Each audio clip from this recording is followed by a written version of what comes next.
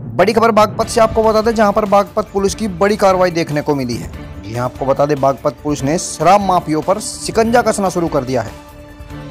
आपको बता दें, शराब माफिया पवन त्यागी की 15 लाख रुपए की संपत्ति कुर्क की गई है, जिसमें पुलिस ने 250 वर्ग मीटर में बने मकान को कुर्क किया है। आपको बता दें, गैंगस्टर एक्ट की धारा के तहत यह कार्रवाई की गई है। छपरौली थाना क्षेत्र के ओडापुर निवासी शराब माफिया पवन त्यागी पर शराब तस्कर के 22 मुकदमे दर्ज है, जिसके चलते बागपत पुलिस ने पवन त्यागी की संपत्ति को कुर्क किया है।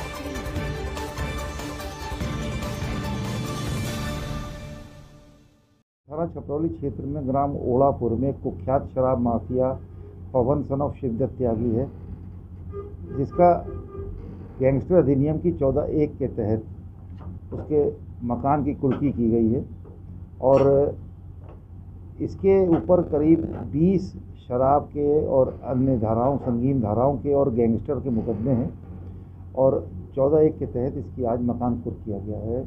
इसकी कीमत इसके मकान की जो करीब सवा चौदह लाख रुपए है, जो कुर्क किया गया है।